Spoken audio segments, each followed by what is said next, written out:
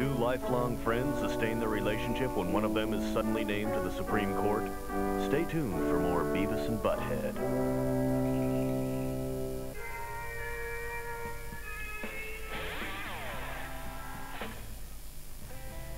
You a cowboy, but you're a mini skirt. You got long, long legs. And look that up. You drive around in a fancy car from a dinner party to a late night bar.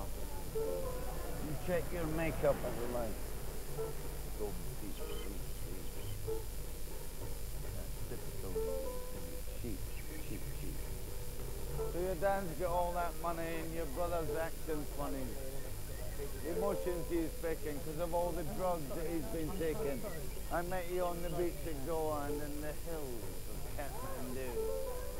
refused to buy my ticket home, I knew that we were through because you are just another